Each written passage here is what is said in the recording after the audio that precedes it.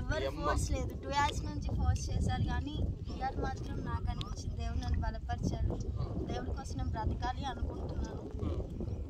ఈ లోకం నాకు వద్దు.